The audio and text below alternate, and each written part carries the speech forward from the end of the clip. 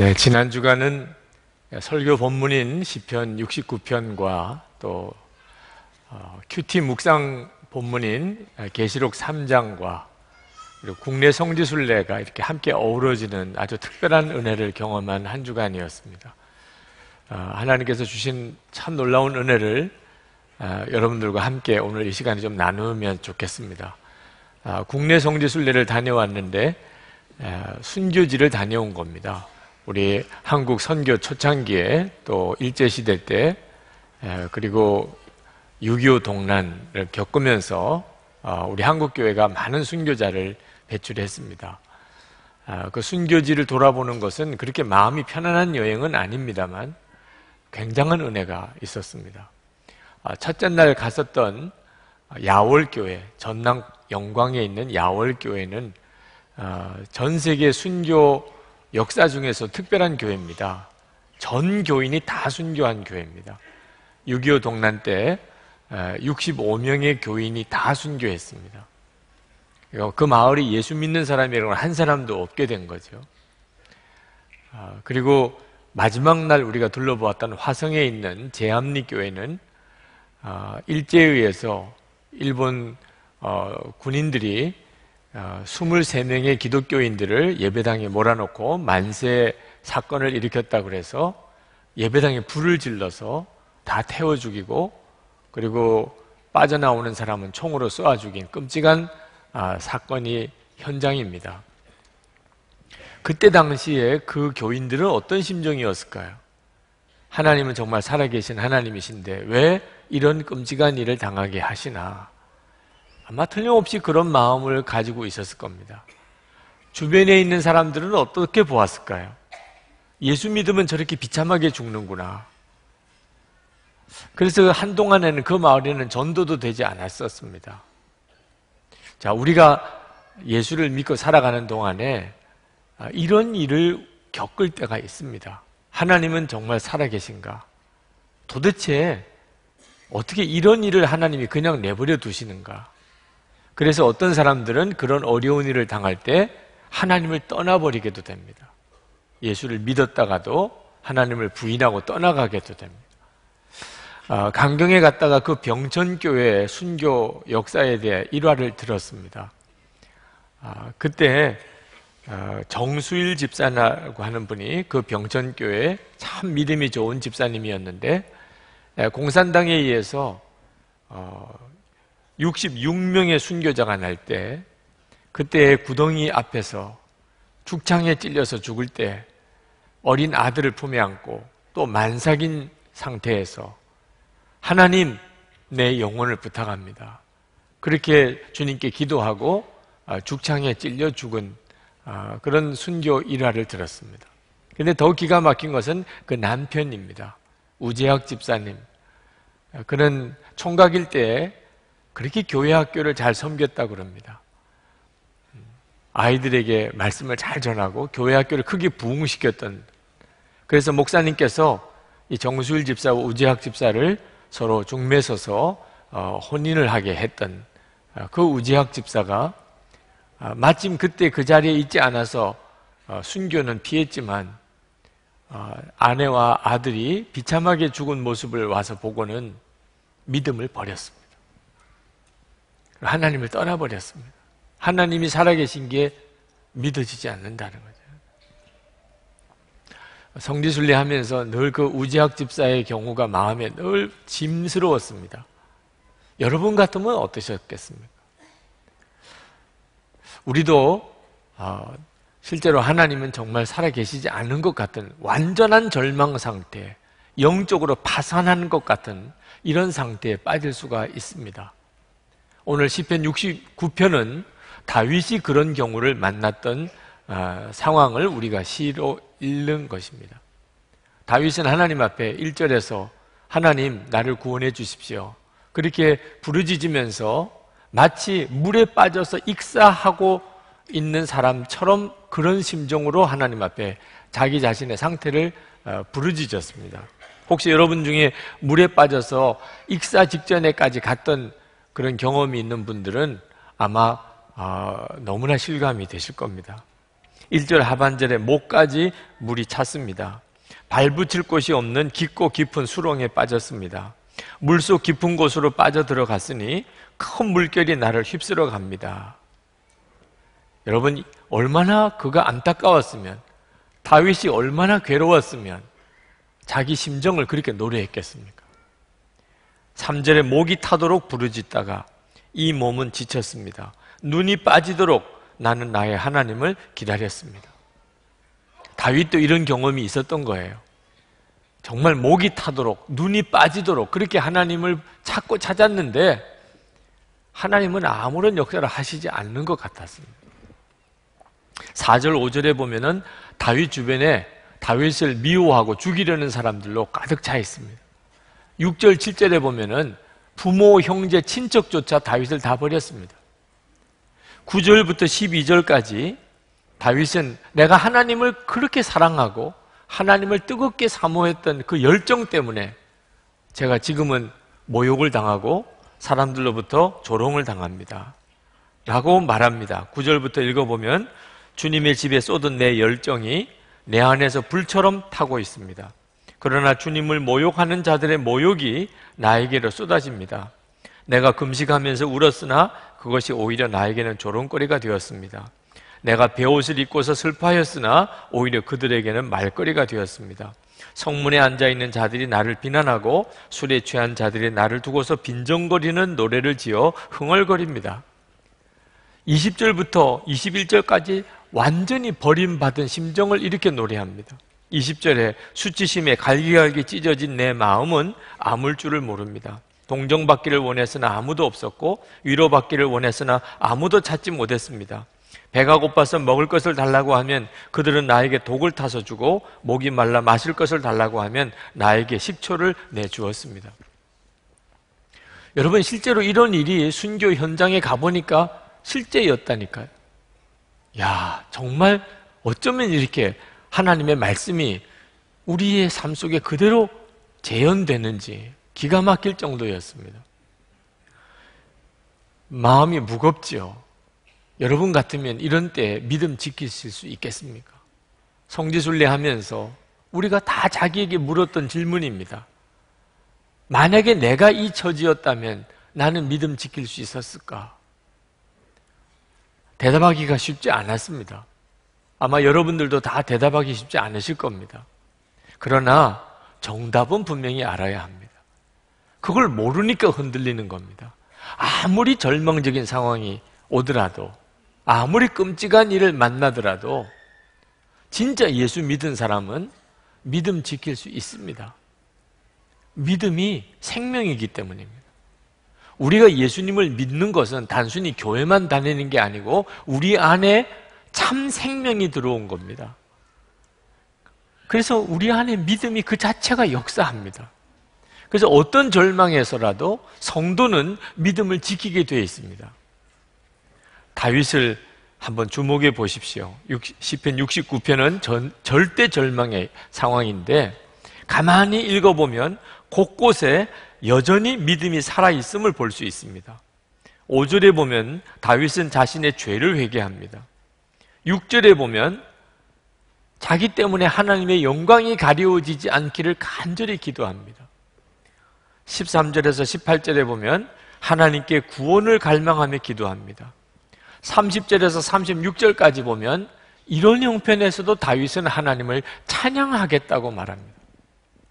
30절부터 보면 그때 나는 노래를 지어 하나님의 이름을 찬양하련다. 감사의 노래로 그의 위대하심을 알리련다.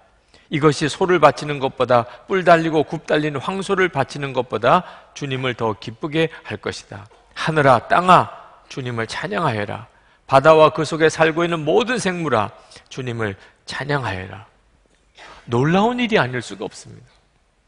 네, 그 절망적인 형편에서도 회개가 있고, 기도가 있고, 찬양이 있습니다. 이게 다 생명의 역사입니다. 그 영혼이 살아있기 때문에 예수 그리스도께서 정말 그 마음의 중심에 계신 사람만이 이런 믿음을 가질 수 있습니다. 여전히 회개가 있고 기도가 있고 찬양이 있는 겁니다. 다윗 속에서 우리가 그것을 봅니다. 그렇다면 아직 끝이 아니라는 겁니다. 상황은 절망적인 상황이라도 마음 속에 생명의 믿음이 역사하고 있다면 아직 끝이 아니라는 거예요. 요한계시록 3장 1절부터 6절에 보면 사대 교회를 향하여 성령께서 무서운 책망을 하십니다. 그건 사대 교회가 죽었다는 것.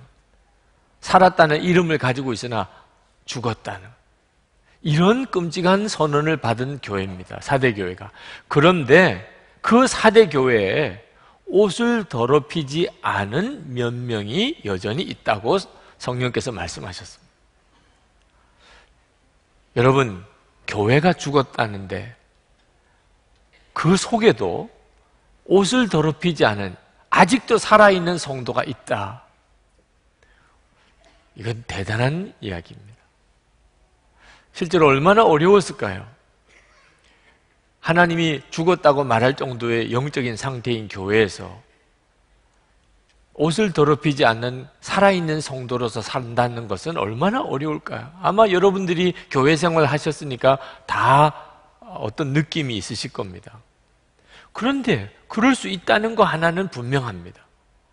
그래서 교회가 죽었다, 예수님이 떠났다, 이런 말 쉽게 하면 안 되는 겁니다. 환경과 여건이 절망적이라도 생명 있는 믿음을 가지고 사는 성도가 그 자리에 있을 수 있다는 거죠. 이번에 강경 성결교회를 가서 그 교회가 어떤 점에서 유명한 교회인지를 보았는데 일제시대 때 신사 참배를 거부한 아, 첫 번째 사례인 교회입니다. 근데 그 신사 참배를 누가 제일 먼저 거부했는지 아십니까? 초등학생들이에요. 그 교회 교회 학교 아이들입니다. 학교에서 조회 시간에 동방요배 어? 일본 신을 향하여 동쪽을 향하여 절하라고 할 때 이 아이들은 고개 숙이지 않았습니다. 선생님으로도 야단 맞고 교장실까지 끌려갔으면서도 우리는 우상 숭배하지 말라. 우상에게 절하지 말라고 배웠습니다.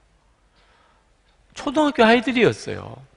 그때 당시에 어른들뿐만 아니고 교단장, 목사 장로들도 신사참배 결의하고 교인들 다 일본 신사에 가서 거기서 절하던 그때예요. 완전히 교회가 영적으로 죽은 때지요. 그래도 옷을 더럽히지 않은 자가 있다는 거예요. 야월 교회를 갔을 때입니다. 전 교인이 다 죽었어요. 그 교회는 한동안 전도도 안 되던 교회입니다. 예수 믿으면 그렇게 다 죽는데 누가 교회 가겠어요?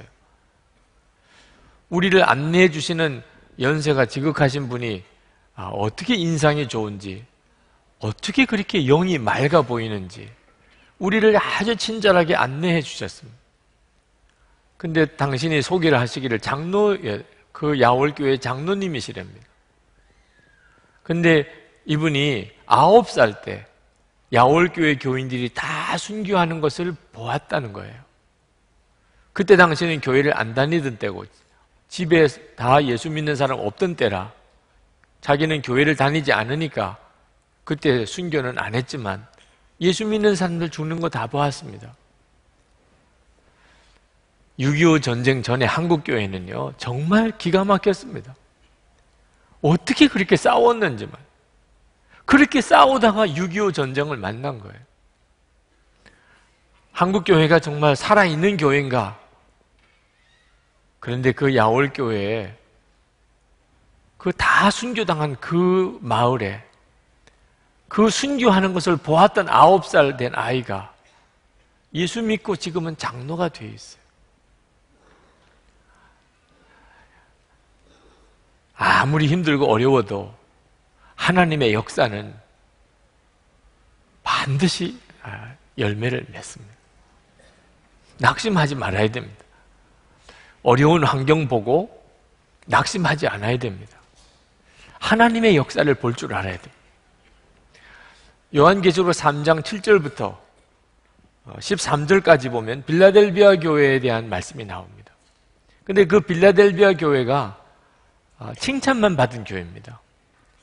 근데 어떤 점에서 칭찬을 받았는지 요한계시록 3장 8절에 이렇게 말씀합니다. 내가 내 행위를 아노니 내가 작은 능력을 가지고서도 내 말을 지키며 내 이름을 배반하지 아니하였도다. 빌라델비아 교회를 향하여 주님은 작은 능력을 가진 아, 성도와 교회라는 겁니다. 어떤 의미로 작은 능력인지에 대해서는 해석상 많은 이야기가 있을 수 있겠지만 하여튼 분명한 것은 빌라델비아 교회 교인들은 아주 작은 능력을 가진 교인들이었습니다. 그런데도 하나님의 말씀을 지키고 주님의 이름을 배반하지 않았다.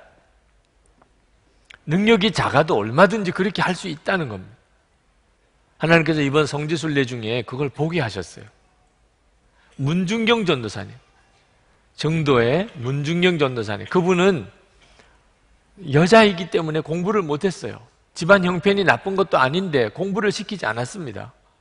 결혼을 했는데 결혼 첫날부터 남편한테 소박을 맞았어요. 바느질 하면서, 삭 바느질 하면서 겨우 입에 풀칠을 하던 여인입니다. 소망이 없는 여인이었어요. 근데 이 여인이 예수를 믿었습니다. 그 여인 안에 예수님이 임하셨어요. 그리고 전도자가 되었습니다. 그리고 자기 고향 신안에 돌아가서 그 신안 일대 섬에 교회를 무려 100교회가 넘게 개척을 했습니다.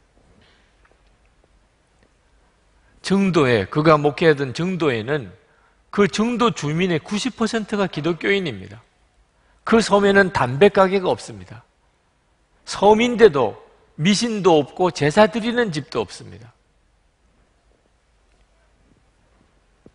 도대체 한 여인이 정말 적은 능력을 가지고 있는 그 여인이 이런 열매를 맺다니. 그가 공산당에 의해서 순교합니다. 그렇게 인생을 끝내요, 거기서. 그렇지만 그 섬에서 얼마나 많은 아, 목사님 또는 사모님, 장로님들이 배출이 됐는지 모릅니다. 우리가 이름을 들어서 알 만한 분들도 꽤 됩니다. CCC의 김중곤 목사님.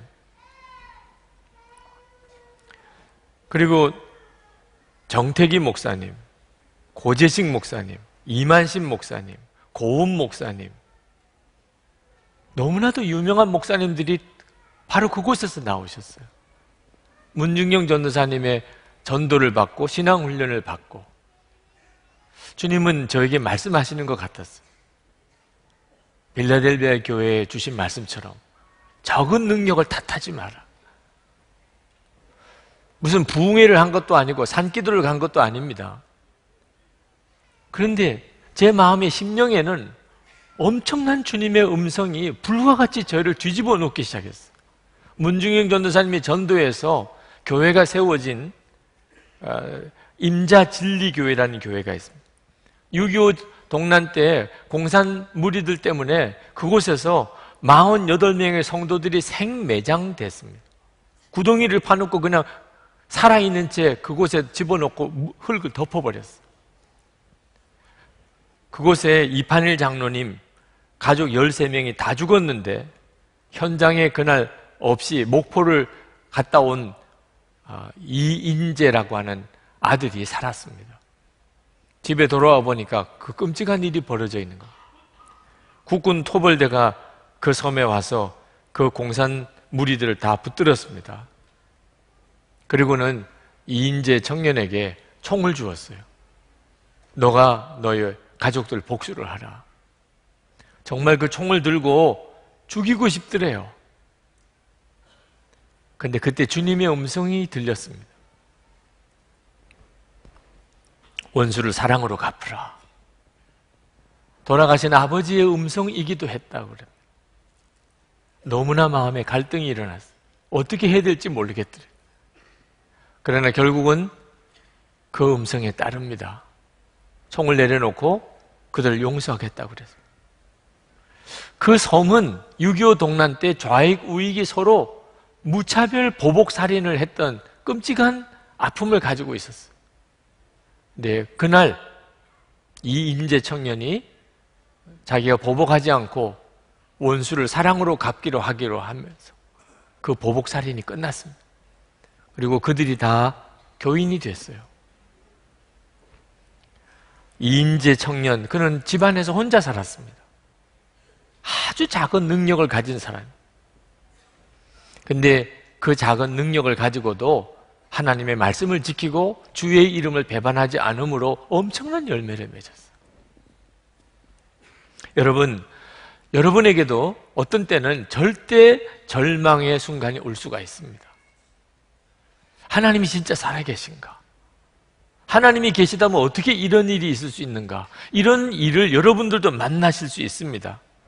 그때 여러분들이 항상 확인해야 합니다. 상황과 환경 속에서는 하나님이 살아계신 것을 찾아보기 어렵습니다. 그럼 여러분의 마음의 중심을 보아야 합니다. 여러분의 마음의 중심에 겨자씨만한 믿음은 있는가 하는 아, 겨자씨만한 믿음은 있겠지요. 오늘 이 시간에도 여러분들이 하나님이 정말 살아계신지 믿어지지 않으시는 분이 이 자리에 있으실 수도 있습니다. 지금 형편과 처지가. 근데 여러분은 여러분의 마음의 중심을 보셔야 돼요. 겨자씨만한 믿음은 있습니까? 아, 겨자씨만한 믿음이 있으니까 오늘 여기도 온 거지요. 그렇다면 아직 여러분의 처지는 끝이 아닙니다. 여러분, 여러분 속에 겨자씨만한 믿음이 있다면 산을 옮길 수도 있다 그랬습니다.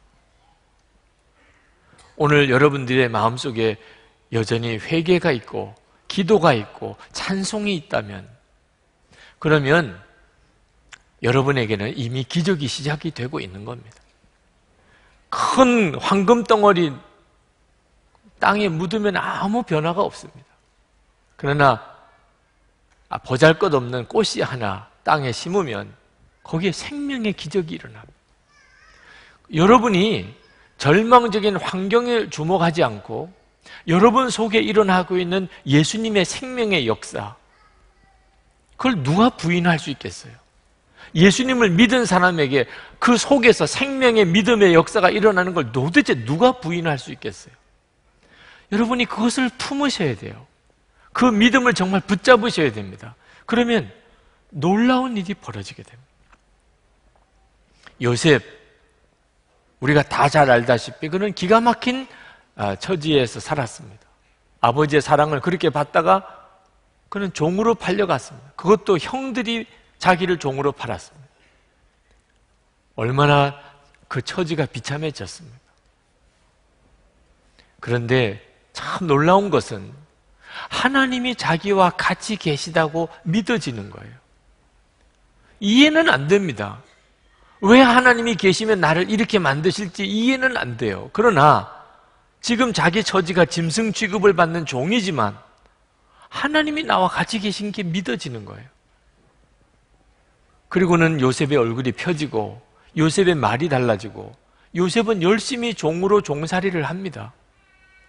보디발 주인 보디발의 눈에 띄어서 그 가정 총무가 됩니다. 주인 여자가 유혹을 합니다. 그런 유혹을 받는 순간에 하나님이 함께 계시다는 게 믿어지는 거예요. 하나님이 나를 보고 계시다고 그렇게 믿어지는 거예요. 주인 여자의 유혹을 거절합니다. 그것 때문에 억울하게 감옥에 갑니다. 그러나 그곳에서도 하나님이 자기를 칭찬하시고 잘했다고 말씀하시는 게 믿어져요. 그래서 감옥에서도 그는 열심히 다른 사람을 도우며 살았습니다. 그렇게 총리가 된 거예요. 요셉이 위대한 삶을 살았던 것은 환경 여건이 좋아서 그런 게 아닙니다. 그는 자기 속에 설명할 수 없는 믿음의 역사, 분명히 자기 안에 일어나고 있는 생명의 역사를 붙들고 간 거예요. 주님은 나와 같이 계신다. 하나님은 분명히 살아 계신다. 그리고 그 믿음으로 살았다가 하나님의 역사를 그가 경험한 거죠. 다윗은 19절에 주님이 아신다고 계속 고백합니다. 주님이 아십니다. 주님은 내가 받는 모욕을 잘 알고 계십니다. 내가 받는 수치와 조롱도 잘 알고 계십니다. 나를 괴롭히는 대적자들이 누구인지도 주님은 다 알고 계십니다. 사람들에게 구구절절 말할 게 없어요. 주님은 알고 계시잖아요.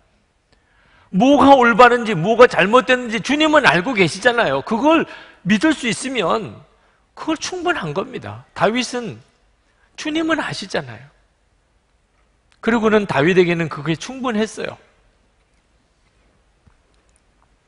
그 믿음 하나 있다면 하나님은 아시지. 내 믿음과 내 처지와 내 말과 행동을 다 알고 계세요. 무엇이 옳은지 그른지도 다 알고 계십니다. 다윗이 22절부터 29절까지 원수들을 향하여 저주 같은 기도를 합니다. 22절에는 차려놓은 잔치상에 자기가 걸려 넘어지게 하소서. 23절에 눈이 어두워져서 못 보게 해주소서. 등이 영원히 굳게 해주소서. 25절에 그들의 집이 폐허가 되게 하소서. 27절에 그들이 저지른 죄악마다 빠짐없이 벌해 주소서. 28절에 그들을 생명의 책에서 지워 버려 주소서. 어떻게 보면 좀 유치해 보이는 기도이기도 하지만 그래도 이런 기도라도 나오고 있다면 여러분 아직 끝은 아닌 겁니다. 여러분이 유치한 기도를 드리느냐, 수준 높은 기도를 드리느냐 하는 것보다 더 중요한 것은 기도를 하고 있다. 하나님 앞에 기도할 수 있다면 여러분은 아직 끝이 아닌 거예요. 오늘 주님은 우리에게 분명하게 말씀하고 계십니다. 절망적인 상황이 우리에게 닥쳐오더라도 상황을 보지 말고 지금도 주님은 내 안에서 역사하시나 내게 겨자씨만한 믿음은 있나? 정말 성령의 역사가 내게서 다 사라진 건가? 그걸 확인하라는 것. 저는 저 강북 수유리에 있는 강북제일교회 고 윤덕수 목사님 이야기를 들었을 때 참 감동을 받았었습니다. 저는 이번에 설교 준비하면서 그 윤덕수 목사님 이야기가 생각이 났습니다. 그 꽤 긴 간증이긴 합니다만 아, 제가 좀 줄여서 여러분들에게 소개해드리고 싶었습니다. 1988년 서울 올림픽이 열리던 그 해에 아, 윤덕수 목사님이 뇌출혈로 쓰러지십니다. 그리고 3년 동안 병원, 병원 에서 꼼짝없이 누워 계셨습니다. 몸에 정확히 반의 마비가 왔습니다. 뇌출혈로 얼굴이 완전히 돌아갔습니다. 뇌출혈 때문에 기억력 잃어버렸습니다. 자식도 못 알아봤어요.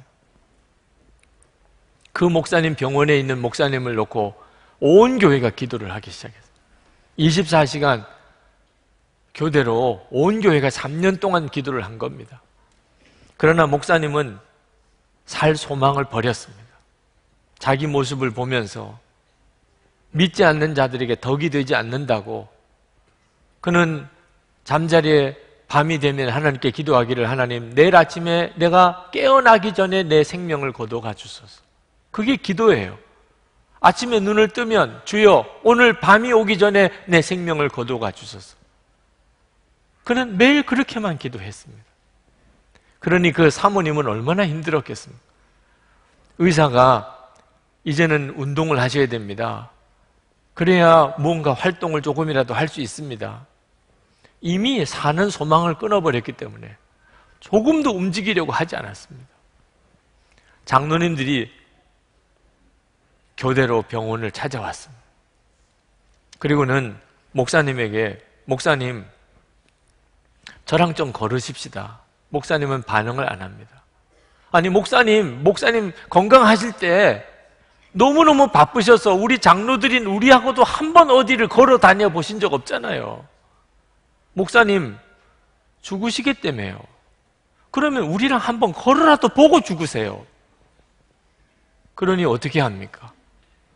그냥 꼼짝없이 장로님 손에 붙들려서 일어나신 거예요.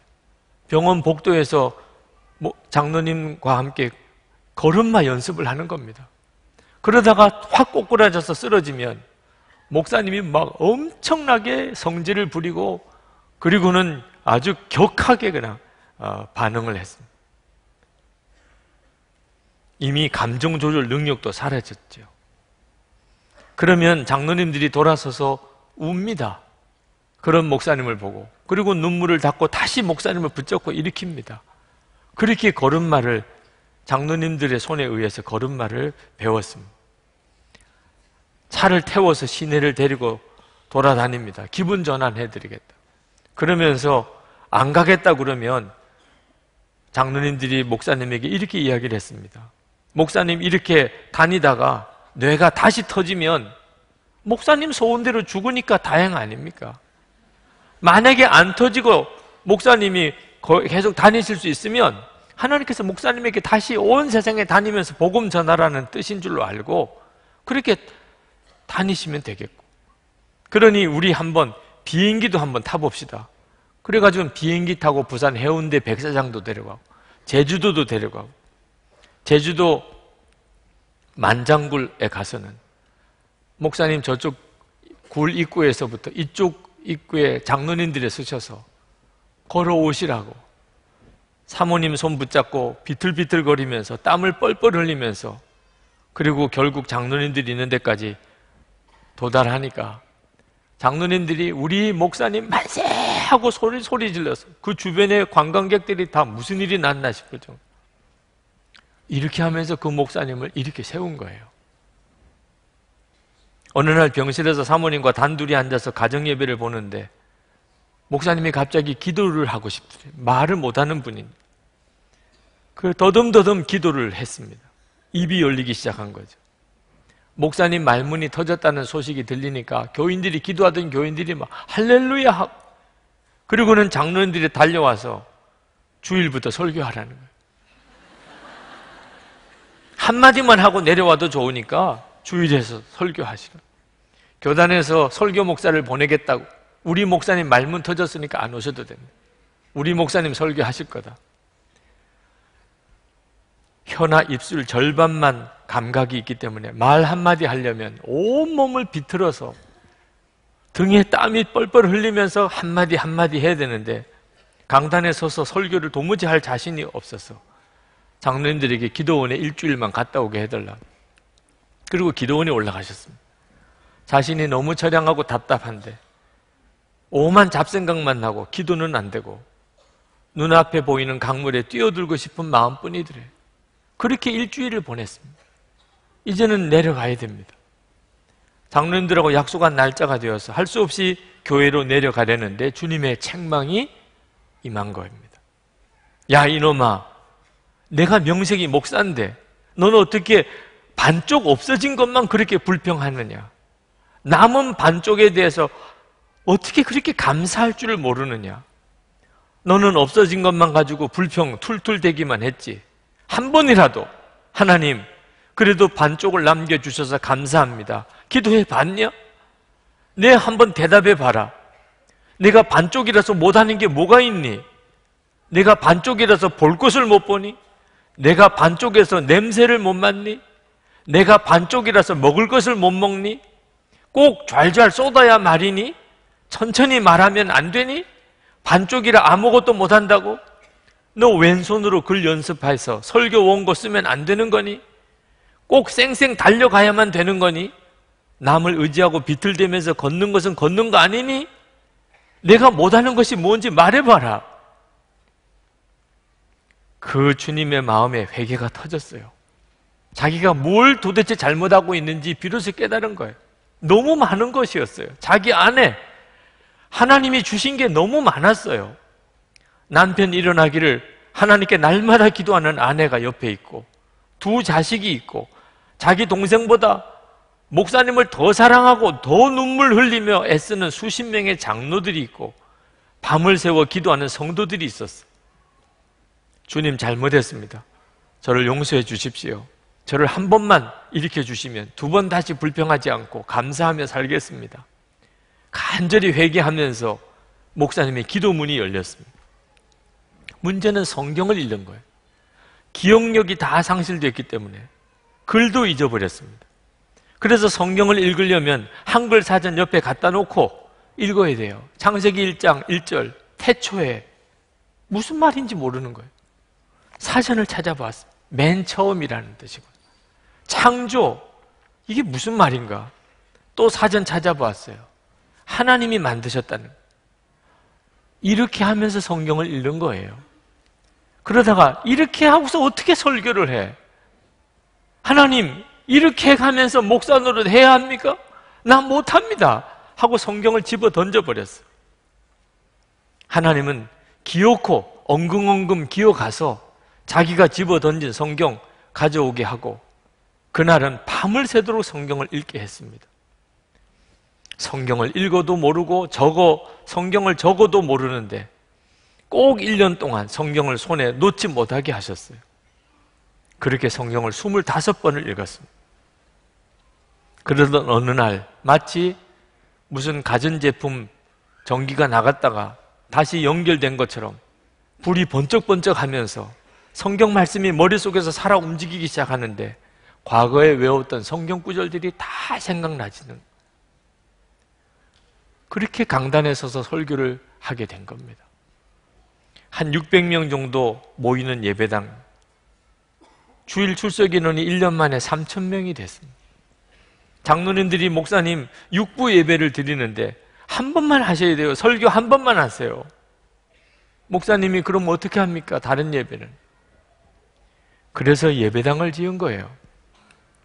3천 명 들어가는 예배당. 목사님 한 번 설교하게 하자고. 여러분 추수감사절 이번 추수감사 주일에 여러분의 삶에도 이런 감사 기적이 일어나기를 축복합니다. 절대 절망이죠. 사람의 눈으로 보면 그렇습니다. 그러나 눈이 안 뜨여서 그런 거예요. 눈이 안 뜨여서 세상 문제, 내게 부딪히는 어려움은 절대 절망으로 보이는 겁니다. 내 속에 있는 믿음의 역사는 겨자씨처럼 보이는 이유는 눈이 안 뜨여서 그런 거예요. 눈이 열리고 보면 진짜 기적은 내 속에 역사하는, 여전히 내 속에 역사하는 생명이에요. 회개가 있고, 기도가 있고, 찬송이 있다면, 이건 엄청난 것입니다. 여러분, 절망스럽습니까? 그럼 먼저 마음 점검부터 해 보셔야 돼요. 여러분 속에 성령의 역사가 완전히 사라졌습니까? 그거 확인한 다음에 절망해도 늦지 않아요. 겨자씨만한 믿음은 있습니까? 그렇다면 끝 아니라니까요. 산을 옮길 수 있는 힘이 있다니까 여전히. 여러분 오늘 성찬식을 합니다. 이건 기적을 축복으로 받는 시간입니다. 하나님이 우리 마음에 오시고 예수님과 우리는 한 몸이 되는 이게 믿어지지 않는 축복이라 오히려 무감각한 분들이 계세요. 기적을 받았으면 기적으로 반응해야 맞지요. 제대로 반응해야 됩니다. 우리가 지금 엄청난 축복을 받은 거예요. 예수님 우리 안에 오시고 우리와 한 몸이 되신 축복을 받았습니다. 그러면 합당한 믿음으로 반응하셔야죠. 주님, 제가 어떻게 이런 복을 받았습니까? 예수님은 여러분 안에 계십니다. 이걸 깨달으면 불평도 죄고, 불신도 죄고, 낙심도 죄입니다. 정말 깨닫고 나면. 오늘 이제 성찬을 받겠습니다. 저는 이번 수수감사 주일에 정말 여러분의 삶에 이 감사 기적이 일어나기를 예수를 믿었으면 예수 믿은 증거가 여러분의 삶에 나타나게 되게 돼 있습니다. 여러분이 온전한 믿음으로 반응하실 수만 있다면. 여러분이 기도하실 때 주여 제가 제 속에서 역사하시는 주님을 보게 눈이 열려지기를 원합니다. 진짜를 보는 눈이 뜨여지기를 원합니다. 절망적인 상황을 보지 않고 제 속에 여전히 역사하시는 주님을 보게 해 주옵소서. 우리 통성으로 기도하고 성찬을 받겠습니다.